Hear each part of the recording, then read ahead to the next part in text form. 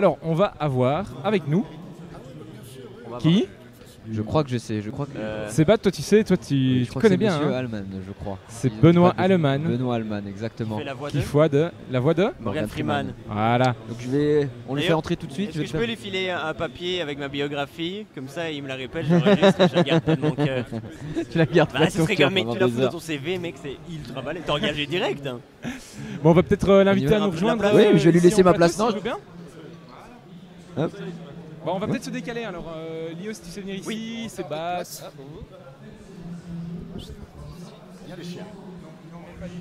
On a aussi le, ch- le chien de, Benoît. Allman qui vient avec Euh, nous. de- Hop. Merci. Oh, quelle époque nous vivons. Oh, Ah là là. oh, ça me fait des frissons. Oui, quelle, quelle- quelle époque, quelle belle époque. Ça va, Lio Tu te. Je vais, je, je vais arriver à me tenir, ouais. Je crois qu'on a un fan ici. Ouais. Je Oui, crois qu'on a un oui, fan. oui, oui, je crois qu'on s'est déjà vu, nous, non? Ouf, ça m'étonne, ouais. Ça C'est m'étonne. le- c'est le béret, je crois, qui fait ça. C'est- C'est peut-être le Perret qui fait ça. C'est l'effet Boré. Alors, on s'est peut-être croisé dans le salon comme ça, je suis passé essayer de voir euh, le, le curieux qui fait Ah, ils sont là Les Alors- gens célèbres On vous connaît pour la voix de Morgan Freeman, Oui. mais euh, vous n'avez pas fait que ça quand même. hein. Oh non. On oublie de le souligner assez souvent, je pense. Bah, J'en fais pas mal d'autres. De toute façon, depuis que je fais Morgan Freeman, euh, à chaque fois qu'il y a un nouvel acteur d'origine couleur foncée, parce qu'on n'a plus le droit de dire noir? Couleur Bon, Mathieu? Non, mais c'est vrai, c'est- très difficile, c'est très délicat que comment dire. Eh bien, je- je- on me l'attribue, donc je, je double beaucoup d'acteurs américains euh, noirs, tout simplement. Est-ce que je peux juste C'est un- drôle, ça m'amuse beaucoup. faire le difficile et vous demander de mettre le micro un tout petit peu plus près Voilà, merci. Parce que vous m'entendez pas Euh, c'est bien la première fois. Avec une voix pareille, je pas. crois, Ouais, je ouais, crois ouais, qu'on ouais. a envie d'entendre. Non, mais c'est peut-être le... le micro, voilà. Vous êtes Parce que peut-être vous, vous m'entendez là en ce moment là Oh Non, non, mais tous les, les personnes qui nous regardent nous entendent, hein, bien entendu. Mais Formidable. C'est fantastique. Hein. Oui, oui. Alors Avec dites-moi juste tout. un petit téléphone euh, et deux petites caméras. Ah d'accord, ok. Très bien. Voilà. Bien, euh, une voix comme ça, ça s'acquiert quand même pas du jour au lendemain. euh, comment vous, vous travaillez ça? Alors premièrement, vous parlez plus fort. Excusez-moi. Non, parce que là, là vous êtes bien là. Ouais. Mais là, il y a haut-parleur qui nous amène tout ici. Là. Je disais, une voix comme la vôtre, oui. ça s'acquiert pas du jour au lendemain. Ça, vous le travaillez ça ou c'est Non, quelque d'abord, merci papa, merci maman. avant tout, Ouais. Ah, déjà, mon père avait une très très jolie voix, ça c'est vrai. Et puis, euh, moi j'ai commencé à jouer au théâtre, j'avais 16 ans. J'ai fait beaucoup beaucoup de théâtre en plein air, les, les- les- les- les grands festivals. Et là, c'est là où on, on- on utilise son, son organe, si je puis m'exprimer, puisque le comédien, son instrument, c'est son corps.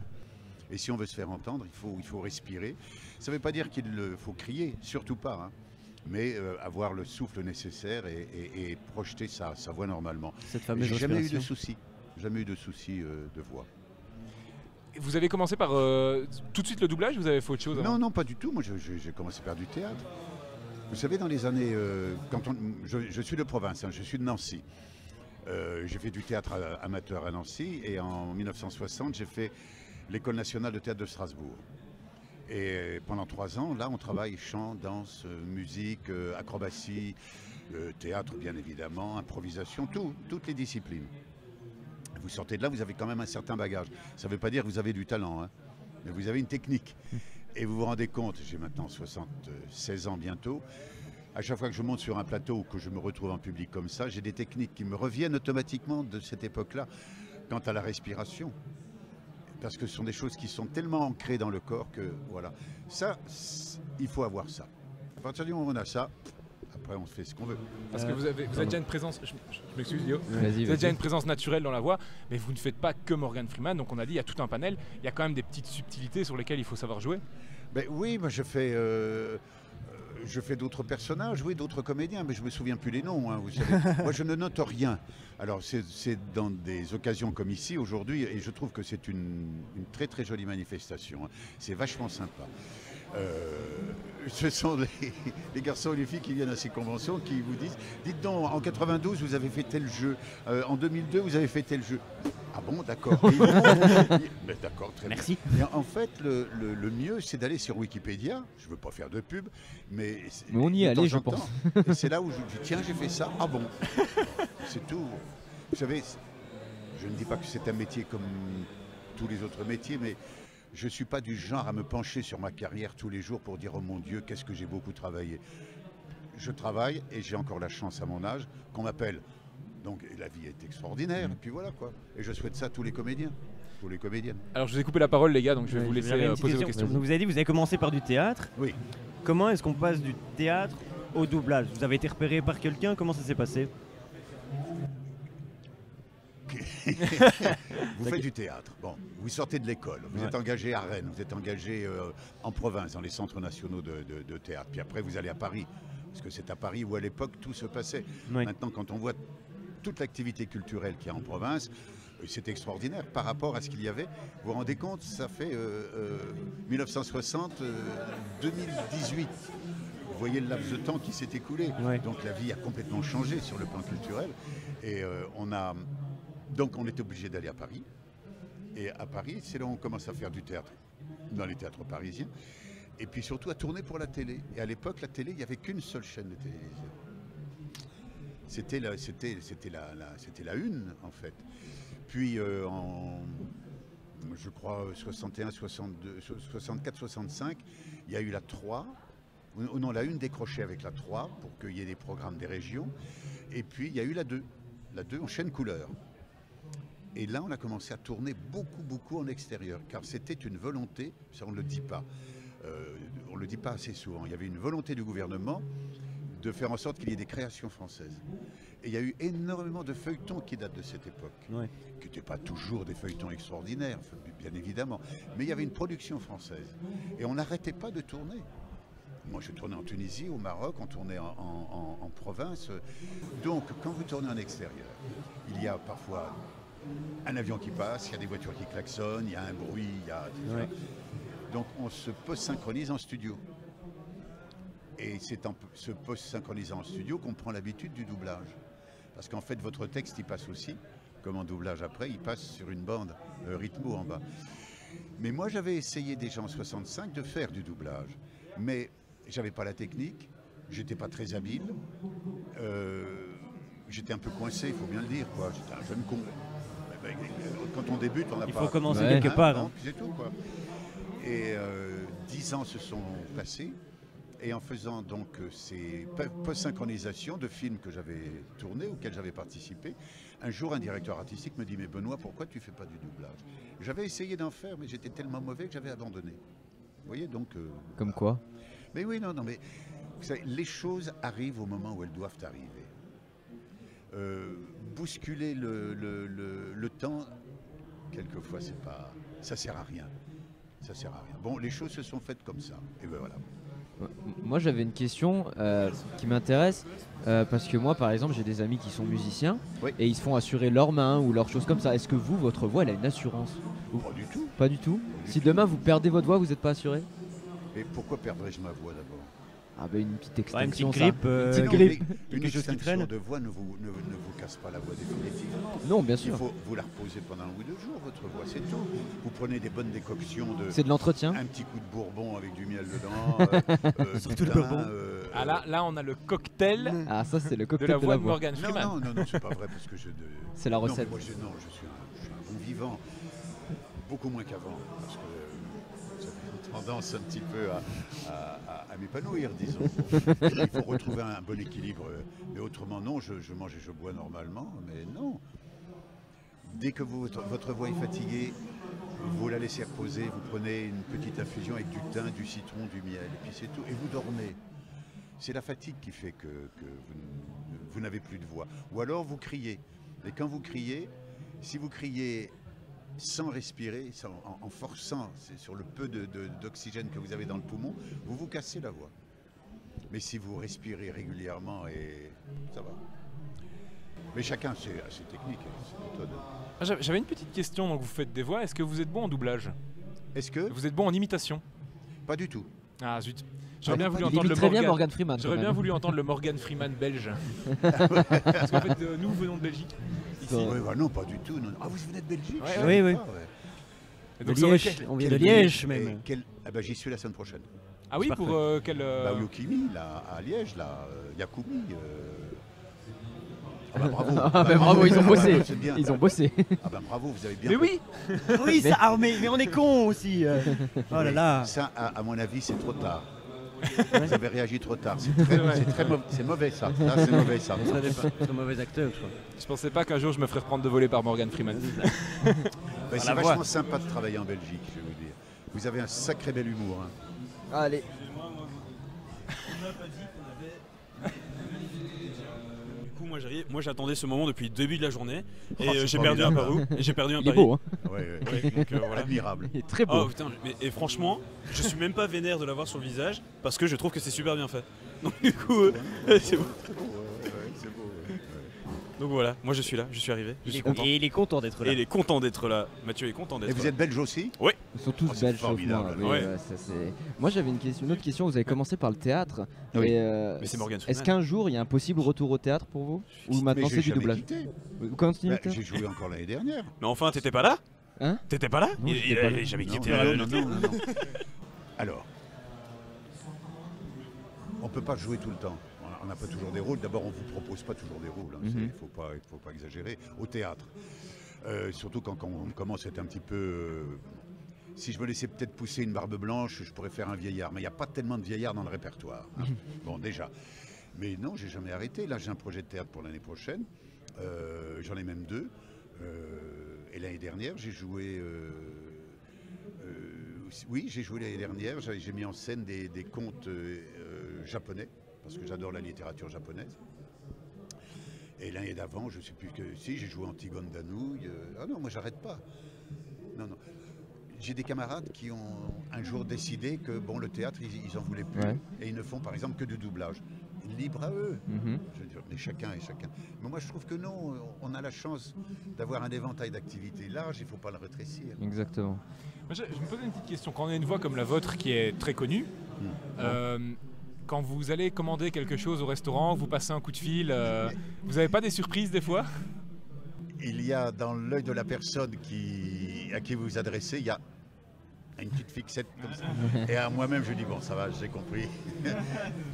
Il y a l'ordinateur qui se met en marche. Voilà. Et au téléphone, il n'y a jamais des gens Ah, si, qui, si, si, il y a qui des pensent gens que vous faites des oh là blagues euh, Oh monsieur, votre voix. euh, Mais alors vous êtes. Puis ça y est. Je dis, oui, bon, bah, d'accord. voilà.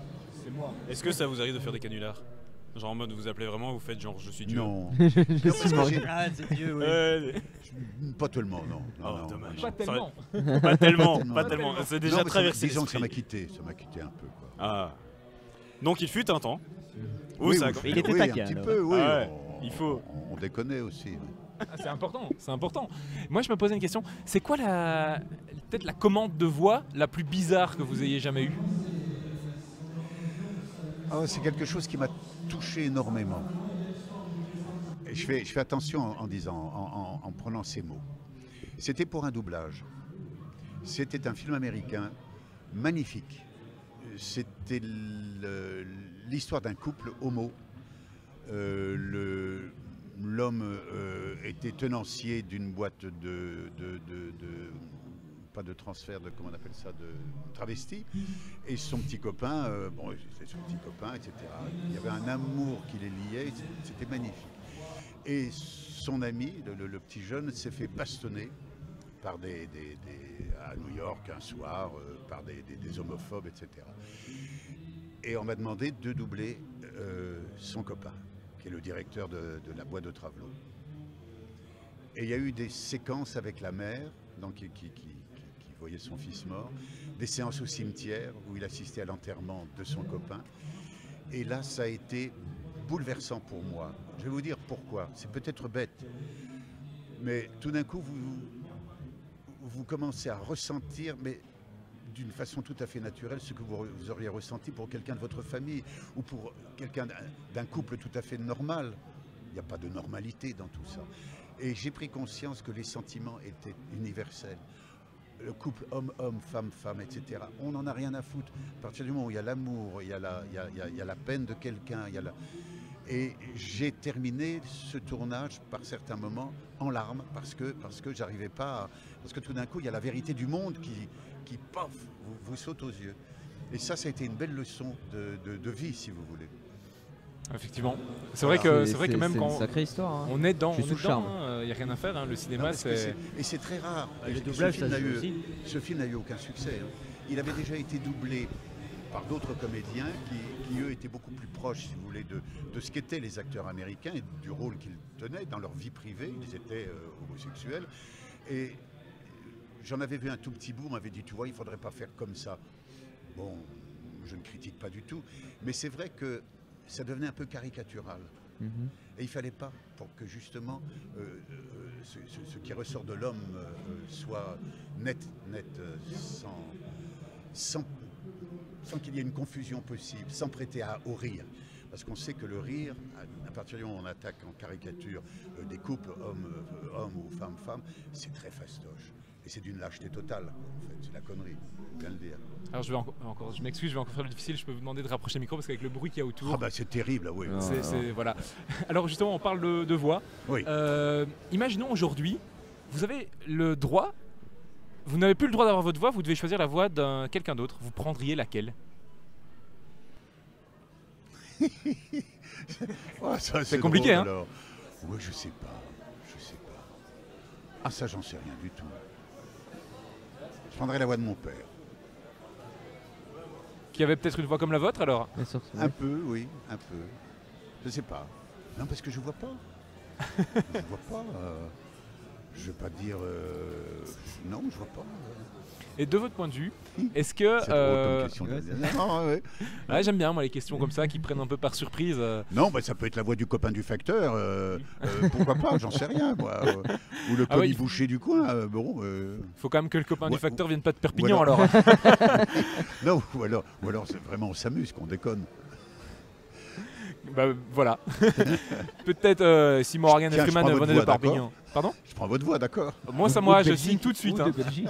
De Belgique en plus. hein. De Belgique. oui. La Belgique joyeuse, oui.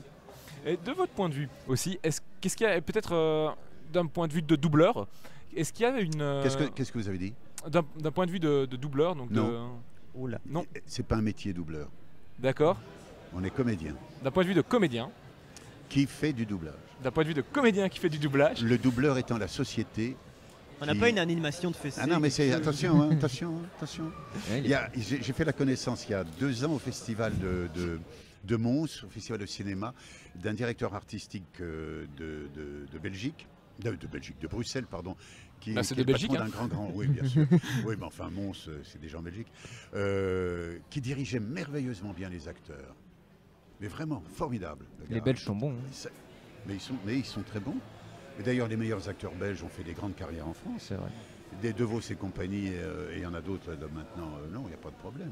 D'ailleurs, je trouve qu'on devrait annexer la Belgique. Enfin, oui. ouais, et des fois il y, en a qui pensent, hein, je pense. Oui, hein, oui, euh. On partage un petit peu cet avis. oui. on a des guerres internes. hein.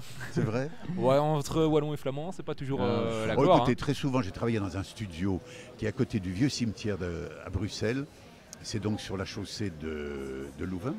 Oui, je crois. Ah, Oui. Oui. Oui, je crois que c'est sur la chaussée de Louvain. Euh, les deux associés, l'un était flamand, l'autre wallon. Et j'ai jamais vu deux gars se fendre la poire comme eux. C'est Et- vrai. Et au moment où ça, ça pétait, etc., ils disent, mais enfin, qu'est-ce que ça veut dire? Parce que toi, tu arrives de Paris un peu, euh, tu dis, bah, alors qu'est-ce qui se passe? Ils sont en état de siège, tu vois des drapeaux euh, euh, belges, voilà, etc. Ah oui. Bon, bref, tu dis, mais pas du tout. euh, L'affrontement est politique. L'affrontement est politique. Les, les- les personnes entre elles, il n'y a jamais de problème. hein. bien sûr. Mais, euh, Oui, non, mais c'est un peu comme ça aussi en France. Mais je crois qu'on est un peu plus taré. Un peu plus taré. oui. Nous, on n'a pas besoin d'avoir flamand wallon pour se taper dessus. Oui. C'est bien dit ça. Voilà, non, si, Parler la même langue, c'est suffisant. Voilà. Euh, C'est vrai que des fois, euh, il n'y a pas besoin de parler une langue différente pour se taper dessus. hein, donc, euh. Le, le public belge est formidable. hein. J'ai j'ai joué, euh, mais il y, a, il y a très longtemps. Euh, C'était en, 86-87 avec Michel Leb. On, est- on était venu jouer à Bruxelles euh, trois semaines. On a joué plus d'un mois et demi. Ils étaient de rallonger, de rallonger. Quel public extraordinaire. Parce qu'il il accueille tout, il prend tout. Il n'est pas comme le public parisien qui, qui va prendre comme ça euh, À la voilà, pincette. et trouver toujours des petites choses qui vont pas. Là, ils viennent, ils sont heureux. Et ça, c'est rare. Ouais, c'est parce que le bar était ouvert avant, à mon avis. hein, euh, Ils sont vaches entre eux en plus. Ouais, Ah, c'est vrai, terrible. c'est fou, hein. Ouais. à la taquinerie. euh. C'est ça l'humour belge, c'est l'autodérision. Moi j'avais une dernière question, enfin moi pour ma part c'était ma dernière. Euh, bon, on vous connaît pour Morgan Freeman, mais justement, est-ce que vous l'avez rencontré Morgan Freeman? Non, je n'ai pas rencontré Jamais? Morgan Freeman. Non. Je- Je vais peut-être le rencontrer l'année prochaine C'est vrai? lors d'occasion d'un- d'une grosse manifestation. euh, y a du bois ici, oui, d'accord. et euh, et, euh, c'est en discussion. Là, là, là, il y a du euh, bois. Ah, et on devrait se trouver sur un plateau ensemble. D'accord. Mais vous avez, vous avez déjà essayé de le rencontrer avant? Non, Non? C'est pas un de vos Mm. souhaits? J'aimerais, lui dire que j'ai énormément d'admiration pour lui, d'abord. Euh, parce que vous savez, donner, donner, on donne pas. On prête sa voix à un acteur, on est à son service. C'est ça. Allman, il prend pas la place de Morgan Freeman au cinéma, c'est pas vrai. Mhm, C'est Morgan Freeman qui fait rentrer les places. mhm. Moi, je suis là pour euh, faire en sorte qu'il soit entendu par des francophones qui, qui ne peuvent pas voir la version Mhm. originale, etc. Moi, je ne peux pas voir un film américain en version originale. hein. Donc, oui, pas, pas de souci. Euh, donc, je suis un intermédiaire. Un, un comédien est un passeur entre un, un- un- un auteur et le, le spectateur. Il s'approprie quoi? Son, son boulot, c'est de, de prendre les gens par la main et de leur faire passer le guet, c'est tout. Mhm. On va s'approprier le talent de Morgan Freeman parce qu'on double Morgan Freeman. C'est vrai. Mais On apporte un petit quelque chose que l'on a, nous, bien sûr. C'est pourquoi les gens disent Ah, vous, il n'y a que vous pour le faire. Bon, très bien, les gens, libres à eux de, de le dire. euh. Mhm. Il y en a d'autres, d'autres comédiens qui ont doublé Morgan Freeman avant moi et qui étaient tout aussi bons. Enfin, je veux dire, il n'y a pas de. Je suis pas comme ça. hein. Justement, tantôt j'ai dit doubleur, vous m'avez repris en disant comédien. Oui. C'est important pour vous justement euh, cette euh, appellation comédien. Mais bien sûr. Mais oui, oui, oui. oui, oui. Et pourquoi? Parce que c'est un métier. Parce que c'est pas. Il y a, une, une, une- une écotière française il n'y a pas longtemps, je ne sais pas si vous, vous avez suivi ça, qui chez Ruquier a dit que euh, le- tous les gens qui se tournaient vers l'artistique, c'était le plan B de leur carrière parce qu'ils avaient tout raté avant. Quand même dire des choses pareilles, il faut être, faut être abalé. euh, euh, c'est un métier, ça s'apprend. Si, pardon, vous m'interviewez donc je suis obligé de parler de moi. On Au est bout là de pour trois ça. ans d'études, vous n'avez pas de talent en sortant d'une école. Vous avez de la technique. La technique sans génie, c'est une sale manie, a dit je ne sais plus qui. Bon, le talent, vous en avez un petit peu, mais il s'acquiert au fur et à mesure où vous grandissez, où vous prenez des coups de pied aux fesses, où vous aimez, où vous... Puis voilà, euh, vous, vous vivez votre vie. Donc ça se construit, c'est comme un peintre, enfin. Ah, J'aime bien cette réflexion parce que justement, c'est une réflexion que j'ai assez souvent, c'est que je trouve qu'aujourd'hui, on voit trop le diplôme. On voit trop le diplôme dans une société alors qu'en fait, euh, la vraie force, elle est où?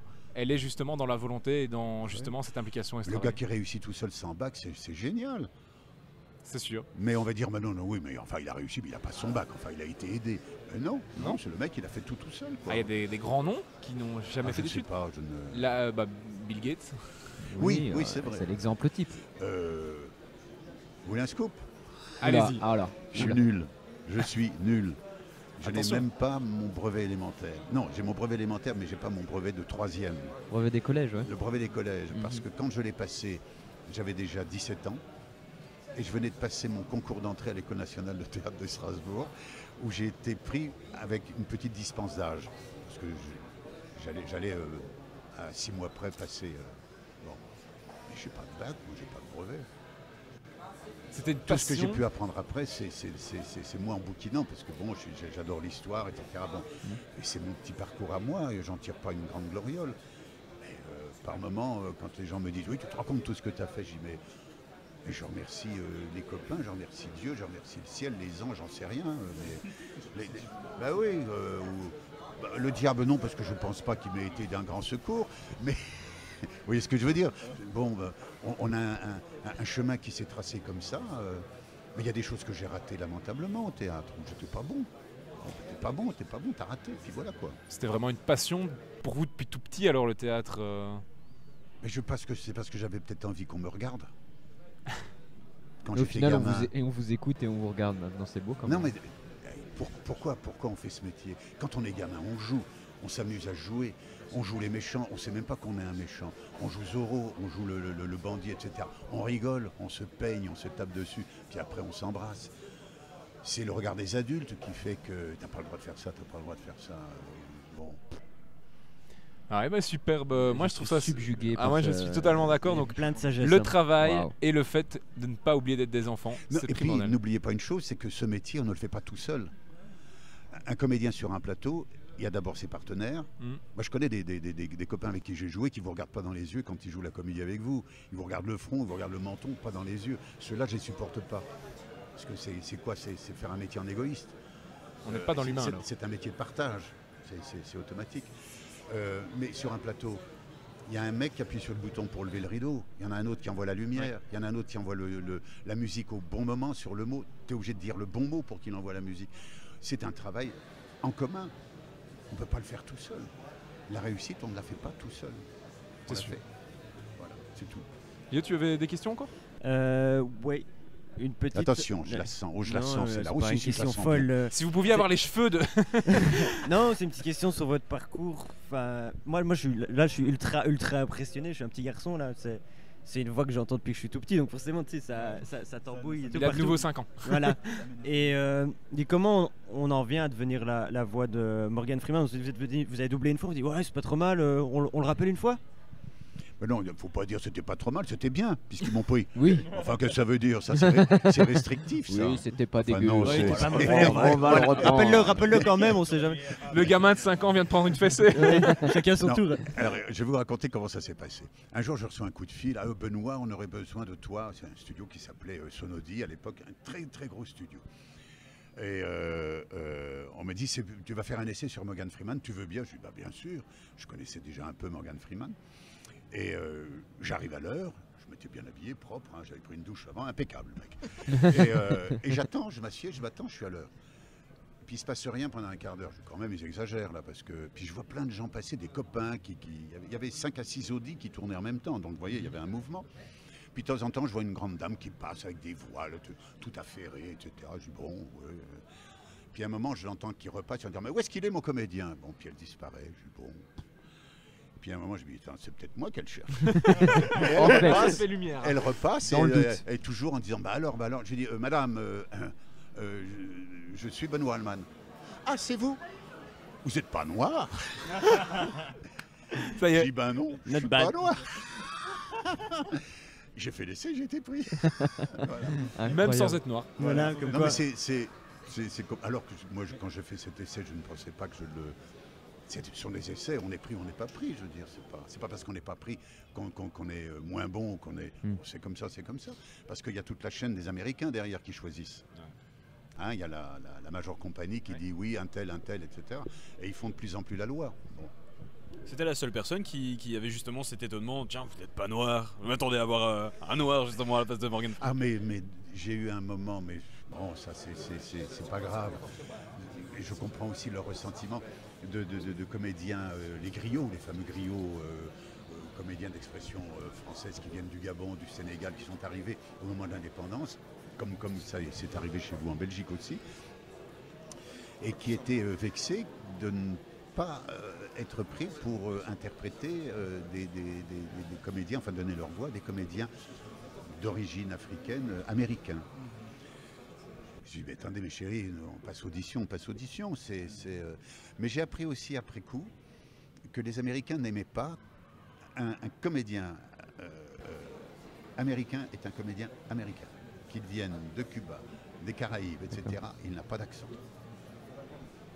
Surtout quand on lui donne le rôle du président des États-Unis d'Amérique. Par exemple. Oui. Par exemple. Voilà. Ou de Dieu. C'est- Ça n'existe pas. Ou de Dieu, oui, ça n'existe Ah oui. pas. Dieu n'a pas d'accent. Donc Non. pas d'accent. Et je me souviens d'un comédien Mais il est noir. qui, qui, qui, euh, qui avait doublé euh, quelquefois euh, Morgan Freeman. Et ça s'entendait un peu. ça- ça- ça- il y avait une musicalité africaine dans sa voix. Et je dois dire que moi-même, ça me chipotait un peu. Mais bon, c'est pas mon problème, c'est pas mon job. Je ne vais pas mettre mon grain de sel. Je n'ai pas fait Mandela. Pourquoi?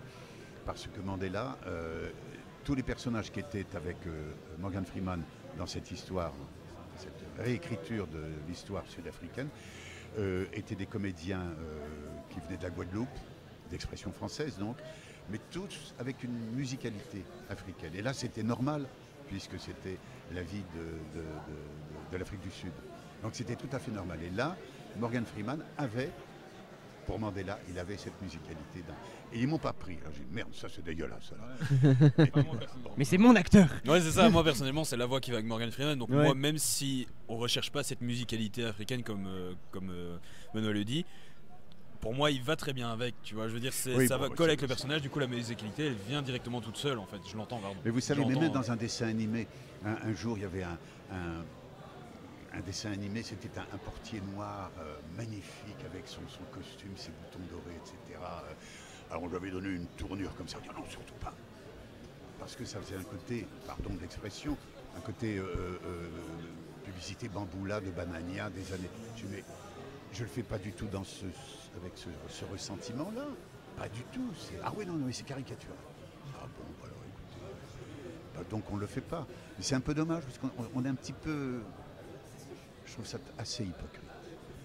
Parce que si, si quelqu'un me dit, euh, euh, comme ça arrive de temps en temps, euh, t'es qu'un sale con de blanc, mais c'est une insulte raciale. Bien sûr. Et je dis non, je suis un indo-européen. Quoi, il me raconte? Oui, je suis de la race indo-européenne. Je ne suis pas blanc. Là, les gens, ils ne savent plus quoi répondre. Ah oui, oui, parce qu'à mon avis, ils s'attendent- pas à entendre ça. Ah, hein. Attendez, mais, ça- pourquoi peut-on pour- pourquoi peut-on injurier un blanc euh, parce qu'il est blanc? On nous interdit d'injurier un noir parce qu'il est noir, ce qui est tout à fait logique, bien évidemment. Mais pourquoi on accepterait de, de se faire insulter parce qu'on est blanc? Ah Non, merde, attendez les copains. Non, parce qu'il est blanc. Quoi. Ouais, je Mais pense là, qu'on on rentre dans un grand des débat. sont- dans un grand Ah, ça, débat. c'est un débat. Euh, J'avais une, une autre petite question, c'était est-ce qu'il y avait peut-être un, un rôle, une- un personnage que vous auriez bien aimé pouvoir jouer, euh, ou que vous auriez rêvé de pouvoir jouer et auquel vous n'avez jamais pu. euh, Au théâtre, oui, c'est Oncle Vania de Tchekhov. Ça, j'aimerais le jouer. Parce que je trouve cette pièce extraordinaire et, et le Oncle Vania est un personnage qui me touche beaucoup. Un projet peut-être d'y arriver? Non, pas du tout. Non, non. Non. Plutôt un Le petit message rêve, est euh, lancé? Non, non, non, c'est une chose qui me- que j'ai depuis très longtemps dans la tête et puis ça s'est jamais présenté. Aujourd'hui, euh, le monde du cinéma, justement, vous, vous le voyez d'un autre œil peut-être euh, maintenant qu'on Oh, je vois rien du tout.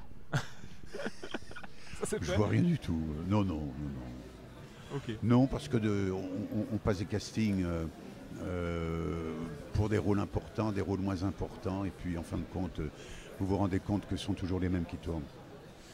C'est vrai, c'est presque toujours les mêmes qui tournent. Est-ce que tu avais encore une, une question, toi, Mathieu?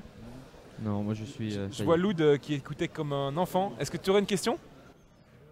Ah oui. Alors, je, je vais pas avoir de questions parce que moi, j'ai euh, j'ai pas suivi, j'étais j'étais sur scène, mais voilà. Euh, je respecte beaucoup le personnage. C'est vrai que euh, la voix, non seulement, mais maintenant qu'on euh, qu'on arrive à voir, euh, c'est euh, c'est quelqu'un d'une maturité exceptionnelle et c'est vrai que ça fait plaisir de mettre, euh, de mettre un, un visage sur une voix, mais je trouve que, que, tout, que tout va, que tout va, euh, que ça soit la, la voix, mais aussi les, les paroles qui sont prononcées qui, qui vont avec cette voix-là. C'est vrai qu'une voix, une voix, ça se travaille, mais il y a une personnalité qui est derrière, forcément, et euh, ben, je suis ravi de voir qu'elle est en adéquation avec, euh, avec la voix. Ah, je rougis intérieurement. si vous me connaissiez, vous diriez pas tout ça. Ah ben peut-être, c'est vrai, peut-être, mais voilà, tout ce qui est prononcé, c'est, euh, ça colle avec ce qu'on entend, c'est vrai quoi. Mathieu vient de dire c'est parce que vous êtes noir intérieurement donc vous ne rougissez pas. Mais attendez, mais c'est pour ça, je, suis- je suis désolé pour les propos que j'ai tenus tout à l'heure, parce qu'il n'y a, aucune- il y a aucun relan de quoi que ce soit dedans. Mais par moments, je dis, mais je, je cherche ma négritude. euh, Et peut-être que la prochaine vie que j'aurai, je serai, je serai peut-être du continent africain, pourquoi pas? Et pourquoi Pourquoi pas? D'ailleurs, on ne sait pas d'où on vient. hein. Alors c'est- vrai, je vais rebondir sur ce que tu dis Loud. Et ben en fait c'est c'est vrai que la voix, comme tu le dis, il y en a même qui disaient la voix c'est le reflet de l'âme. Et en fait, euh, moi je vous imaginais avec un peu un discours comme celui-là euh, quand j'entends une voix Oui, oui, posée et calme fait. comme celle-là. Ouais. Donc voilà, c'est Une assez voix sympa sage de pour un voir. homme euh, sage, je pense. Voilà. C'est- très gentil. Ah non non mais en fait on le pense pas, hein, c'est parce que vous avez euh, dit du bien des Belges. Pas de certains Belges. Ne Précision. faisons pas de généralité. non, non, non. Et moi, c'est avec va- plaisir bah, que, que je vous retrouverai ou que je te retrouverai sur scène euh, demain pour une, pour une intervention doublage, justement, Oui. où on va, Oui, bien sûr, oui, où on va s'amuser sur scène et, euh, Oui, j'espère qu'il y aura du monde. et apprendre aussi, parce que moi, j'ai envie de voir euh, comment on pose vraiment sa voix sur, sur Moi, ce que je crains, c'est que comme on, on ne peut pas avoir euh, euh, vraiment d'obscur, pas presque d'obscurité, c'est très ça, difficile. ça va peut-être être compliqué. Il faut que l'écran il soit sacrément bon, hein, D'accord, ok. la, lampe avec de la projection de, de la bande rythmo. euh, Alors- Non, je le dis d'autant plus que moi j'ai eu deux greffes de cornée et, euh, D'accord. et- et Pépé il fatigue. On fera, on fera péter les Kelvin alors. Sinon, j'ai mes lunettes, je peux te les prêter sans Oh non, non, Mais j'ai peut-être. euh, je suis désolé pour tous ceux qui nous regardent. C'est une question totalement parce que c'est un Oui. peu mon métier aussi de faire des voix. Euh, quelqu'un Ah bon qui veut se lancer dans les voix? Oui. Euh, vous auriez un conseil? Bois du thé. non, de, de se lancer dans les voix, c'est- c'est- c'est-à-dire d'être interprète, c'est de, de- de mettre son instrument à la disposition de texte. C'est de savoir interpréter un texte. C'est de savoir jouer un texte. C'est d'apprendre le théâtre. Ça. Tout simplement. Voilà. La leçon est là. Pour euh, s'il y en a d'autres hein, euh, parmi vous euh, qui nous regardez, qui apprenez le théâtre si vous voulez faire des voix. Oui, mais, mais même pour son, son enrichissement euh, personnel, combien de fois on, on a pu dire ça à des garçons et des filles qui sont venus cet après-midi qui disent oh, on aimerait bien faire ceci. Commencez déjà à apprendre. Mais ici, à, à, à- à- Mézières, à Charleville-Mézières, il n'y a pas. Je dis ben, attendez, il y a bien une troupe de théâtre amateur. Alors tout d'un coup, ils ont trouvé quand même une Quand troupe on de théâtre veut, amateur. quand on veut, on se dis, renseigne, alors, donc, on, arrive, à- on arrive à l'enrichissement Si personnel. ça vous à plaît nous pas, euh, vous, le vous abandonnerez. Mais ne vivez pas dans le regret de ne pas avoir osé de le faire. Alors il y a quand même quelqu'un dans le chat qui nous dit cette voix de narrateur. Ce mec a vraiment un talent caché. Je Faudrait penser à en faire hein, son métier. été hein. Ah, faudrait ouais, peut-être ouais, faire un ouais, métier ouais, de votre voix, ouais, c'est bien ouais. vrai. Il a, il de l'avenir, le petit. Il a de Il il l'avenir. a de l'avenir, ce petit jeune. Non mais rassurez-vous, ma mère qui n'est plus de ce monde n'a jamais compris exactement ce que je faisais. Alors, Ouais, ça, je pense que aucune mère La première fois qu'elle m'a vu jouer, pourtant je jouais Oreste dans cette joyeuse farce d'Andromaque, du merveilleux Racine, une pièce comique, bien évidemment, euh, m'a dit à la fin, où je mourais dans les folies de- d'Oreste, elle m'a dit T'as des grandes mains quand même. je me suis dit Bon, tout est relatif. Si vous pouviez avoir les mains, les mains de quelqu'un. Ah, c'est extraordinaire. Non, mais c'est drôle comme réflexion. quoi. Quelqu'un qui sait pas quoi dire. T'as de grandes mains. Eh oui. Alors on le rappelle hein, pour ceux qui nous regardent, on est bien avec Benoît Alman, la seul. voix française de Morgan Freeman. Mais Entre pas, autres. que. Euh, Mais pas que. Quels autres rôles vous, vous ont tenu à cœur? On avait parlé donc ce, ce doublage de ce film qui n'avait pas bien fonctionné, mais il y a peut-être d'autres rôles comme ça. euh, Oh, mais, mais, euh, les dessins animés, bah, il y a eu Balou. Ouais. Dans le Zingalo, il y a eu Goliath dans le- les Gargoyles. C'était un merveilleux dessin animé, intelligent. Super bien. C'était vachement intelligent. C'était très très bien. Super fait, comme ça. dessin animé, ça, j'ai regardé. Maintenant que maintenant que en fait maintenant qu'il l'a dit, c'est vrai que je m'en souviens, c'était cette vois. Mais j'ai pas fait le lien Puis il y a- avec a Morgan Freeman, Malcolm, moi. Malcolm, le- je faisais le, co- le colonel Malcolm, Oui. le mec avec euh, son bandeau. son- Qu'est-ce qu'on a ri en le faisant parce que c'était tellement absurde. Euh, On, on s'amusait beaucoup à l'époque en doublage, mais maintenant dans les textes, il y a beaucoup moins d'humour. Il y a moins de liberté peut-être aussi. Peut-être un petit peu, puisqu'on fait surtout très censure, attention à ce qu'on dit. euh, comme vous le disiez là. On fait très attention à ce qu'on dit, de Oui, ne oui. pas heurter. Pour ne euh, choquer personne. Vous feriez un doublage pour un zèbre Mais oui. Ah, c'était. C'est un zèbre. Je l'ai reconnu tout de suite Eh ben, en tout cas, c'était- je pense qu'on a passé un chouette moment et c'était l'objectif. Bah, merci à vous. hein, L'objectif c'est- ici, c'est toujours de passer un chouette moment. sympa. Ah, bah c'est gentil. je m'attendais pas à ça du tout, moi. Ah non, non, vous attendiez à quoi Des gens désagréables Bah, à rien. Non, mais bon, euh, Surtout a- de la part des Belges. hein. Surtout de la barre des Il y Belges. a un grand tout à l'heure qui est venu avec une espèce de crabe écrasé sur la tête. euh, enfin, On l'a vu également. ah bon, oui, d'accord, très bien. Mais en tout cas, demain, vous êtes euh, le bienvenu pour revenir faire un petit tour euh, ici. Eh ben, si Parler, s'amuser. Ah tiens, j'ai une petite demande parce que sur le stand de la bande animée, on a plusieurs ateliers, dont un atelier de doublage. Et on serait ravis euh, de Oh. faire participer à. Il est à- malin, lui, hein. Il est malin. Bien Il est. Ah, il est hein. malin. Bien Il est- joué. il est Il arrivé hein. en cours comme Non, ça. non, il est, pas Il est pas belge, il est français. ouais. Carolo, Carolo Bon, il a de la famille en Belgique alors.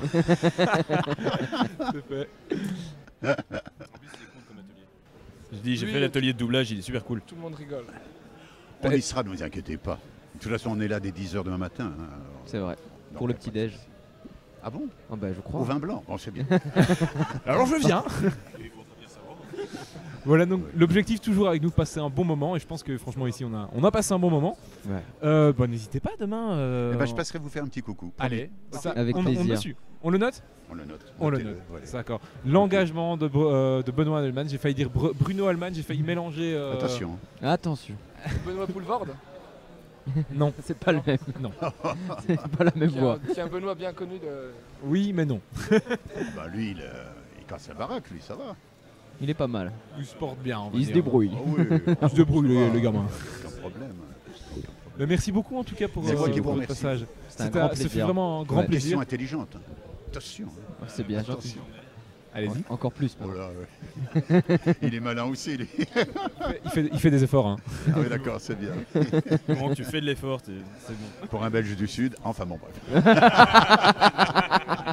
La dernière fessée avant de partir. Allez. Eh ben merci beaucoup en tout cas. Merci à vous. On a déjà hâte de vous retrouver demain alors. À demain. Avec grand plaisir. Et puis de toute façon, on vous verra sur scène Oui, et sur scène. avec l'ami Loud, qui, qui a bien d'ailleurs joué son coup euh, pour son atelier doublage. Mais je viendrai vous voir avant parce que dès la fin du, du- du- du doublage, moi je, je pars vite parce que le seul train qui remonte sur Paris, il est à. Ah, Et je travaille lundi matin. sacré SNCF. Ça va. Bah quand vous voulez. Absolument. que- Quand vous voulez. C'est toujours un plaisir. Ne vous inquiétez Voilà. pas. Ok Merci Ok, beaucoup. en super. tout cas, Eh ben merci beaucoup. bien. Merci on vous laisse beaucoup. rentrer, c'était vraiment un plaisir. Merci à vous.